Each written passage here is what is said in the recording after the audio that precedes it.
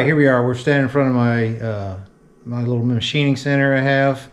Um, it's a uh, small Benchman. It's a VMC 5000. Um, on my other YouTube uh, channel, IC Customs USA, I did a uh, refit video series on building this machine. I use it for my motorcycles and whatever else I can come up with. I haven't machined nothing on it in a long time. It's actually been a couple months since I've actually done anything on it. So we're making these uh, new bushings for the uh, Ford 530 hay baler. Um, I've already machined one, testing out. Actually, I've machined two. The first one didn't pass simply because I've never machined nylon before, and uh, figuring out the you know speeds and feeds, and I figured out that coolant was better than not having coolant. So I ran coolant on this on my second one, and it came out great. Um, the stuff makes tons and tons of shaving, so I'm having to clean it out every time, at least clean most of it, because um, it's just huge piles. So, anyways, I'll show you what the first one looks like. You know, it's in this machining's done in stages. You know, um, also I didn't have a uh, end mill that had a decent flute length. Um, so I'm running a 9 16 end mill in here that has an inch and a quarter flute length and inch and inch and eighth, excuse me. And the the part is an inch and a quarter tall, so I'm having to do two steps in order to do it. And it's a shoulder. The the the shank on the end mill is half inch and 9 16 mil, so it's great. I'm able to uh, do the full length and not have to worry about the sh the shank hitting the part. But I'll show you what the first one is. Uh, I've produced this one. This is the first one off of, well, the second one. Um, like I said, it's done in stages, so I'm going to machine them all. I've already cut uh, a bunch of billets, like the one that's in the, the vise right now. Um, so I'll go ahead and I'll machine all of them that look like this, and then I'll flip it over and uh, surface remove this excess material and then it'll get rotated and set in the vise to bore the holes for the bolts to go through to lock it in place. Like I said, I'm, I got my uh, probe in here, so I've probed it.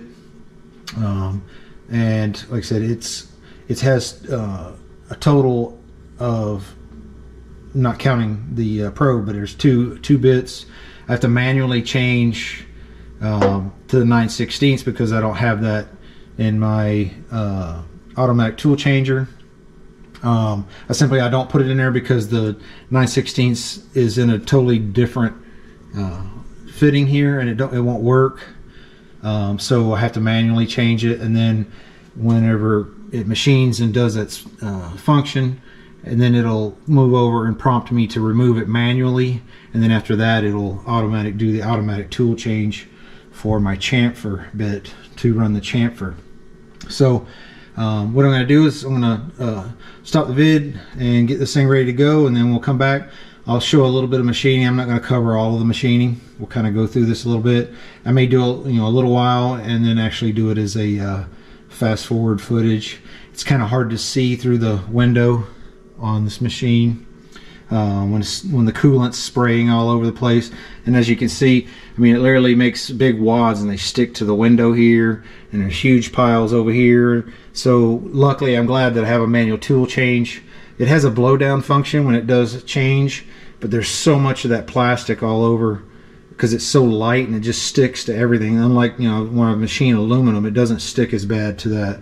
Um, but this plastic just gets really caked up on there. So I have an air hose inside here, and then I just, when I do the manual part, I blow down my automatic tool changer to make sure that it's clear and doesn't get one entrapped uh, when it does the change. So anyways, we'll get uh, pause the video, and when we come back, I will be ready to start machining.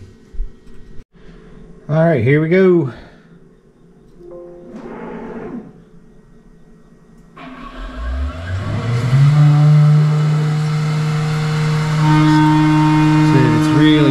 See in there because of the splatters.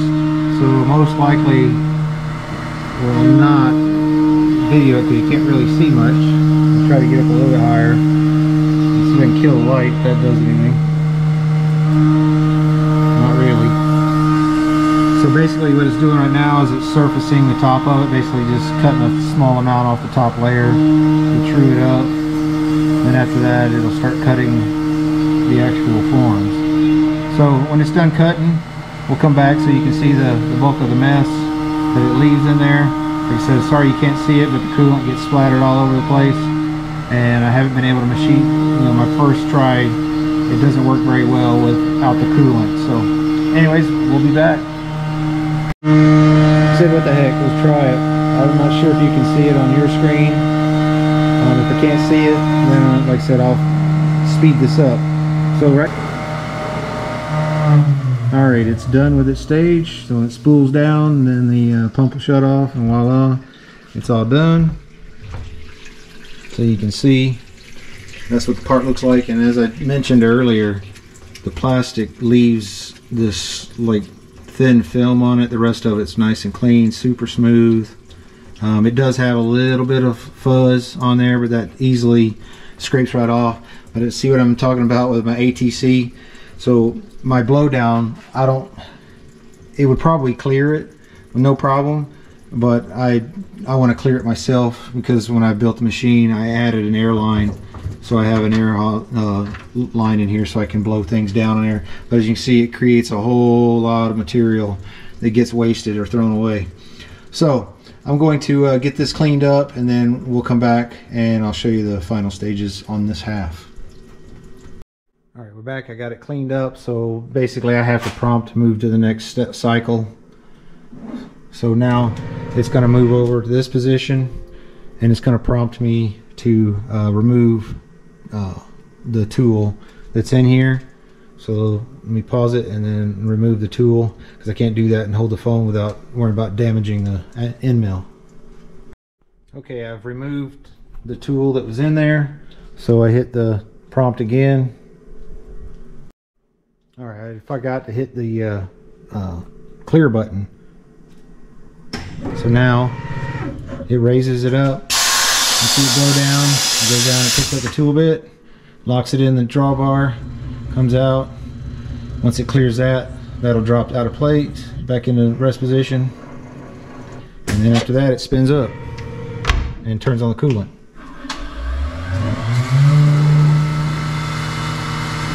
This is a really fast cycle. If you can see it. You'll see the stuff just basically falling off.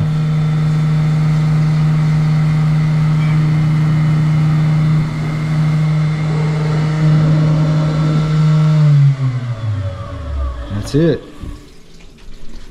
So there's the fall off part. So I got a nice uh, good chamfer on the edge. Like I said, there's some little bit of fuzzies, but like I said, this is plastic, so it's really hard to uh, make a determination on I don't know if that's normal.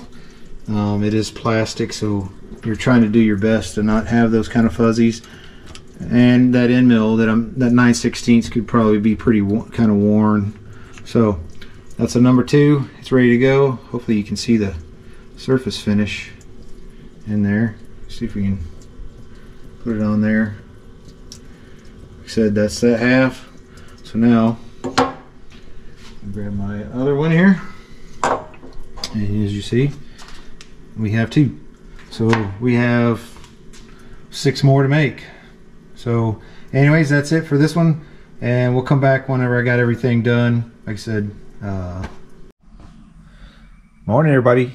Um, it's a new day. I machined all eight of the bearing blocks last night. It took takes about for this single cycle I think it's about 10 minutes to machine that I didn't clean between uh, cuts at the end, all except for I would clear off around the ATC. So you can see there's inside, it's pretty packed. Um, those uh, two two thousand cent shavings, man, it makes a lot of them with the amount of machining that's done on it. Where I would clear, you see a nice trash bag full. Anyways, uh, so this is step one of a, a three-step operation. So now I have to set them in the vise like so and surface take this surface off right here. All right we have all eight of them done on the second process. As you can see nice and clean.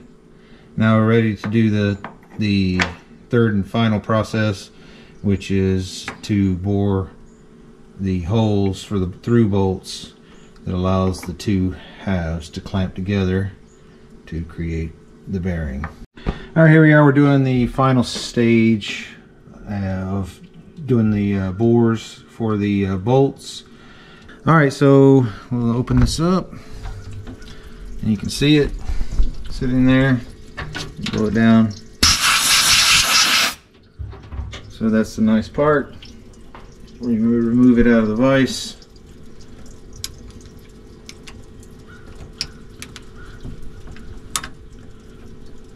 And voila. You have a really pretty hole with a chamfer. So that's it. I'm going to go ahead and finish up the last of them and then we will move on to the next stages. Alright, these are all done. Um, it, like I said, there's a total of four bushings in the uh, rake assembly um, or feed rake feed assembly or whatever it's called. Um, so it requires two per thing. So there's a total of four for each uh, set of rakes. So and then there's uh, some smaller bushings that go up. I guess where another hinge is at. So we have to machine those next. Those are a one-piece bearing where these are split. All right, we are making bearing number two on the first stage. Um, here's the first one that came off. Um, definitely better surface finish because the end mill was not all nasty and you know it was an old end mill that I used to machine the other one. It just didn't have nothing deep enough as far as flute length, but the bore looks beautiful good surface finish all around really nice chamfers. So that's the first stage of the one piece bearing block. All right all these four are done. Um, came out really really nice good surface finish on there. Um, so we are ready to start installing. So stay tuned. All right here we are. We have all of the bearings are all made Um, as you've seen in the video on how I made them, um, they all started their life out as just a chunk of plastic cut into little billets and then machined. I bought one size because it was cheaper than trying to get the different sizes for different amounts. So I bought one size, it was cheaper. So um, there's a total of eight of these bearing halves you can see, they just replace the broken uh, parts that's here. So we have these bearing plates. These are the ones that go in the U-bolts. Um, and then there's uh, steel back plates like this um, that goes on the on both sides of it. Um, so those are done. This one here was the one that's closest this is the outboard side of this the feed fork assembly. It was still steel. And these are this is the end of the spring assembly, and then this goes up into the hoop section of the spring assembly. And they were steel with a nylon bushing on the inside. Um, I produced those. This one is for the replacement of this. I basically replicated this one. This one goes to the gearbox side. So I replicated that uh, because it's only a single bolt holding it and I didn't make it square. I made it round just like that one. It wasn't a big deal. So that's to replace that one. And then this one replaces this one. And then this plate here was, as you can notice, it's a little bit shorter. Um, and I did that on purpose um, because it's this one here has a steel plate that goes on there. Because see there's the ring for the, the spring assembly and it has a steel plate going on it right here. And it's a little bit thicker on this side. So I basically replicated that for this larger one. Um, I made my own steel plate. So this has got a steel backing plate so it'll come up to be the same thickness as that one like so. So these are all done. So we are at this point, we are ready to start assembly. Um, still waiting on a few other parts and then we will start assembling these items. Um, I may produce these if someone has an interest in needing some of these bearings. Um, you know, give me a contact. You know, drop something down in the description, and I'll see if I can help you out.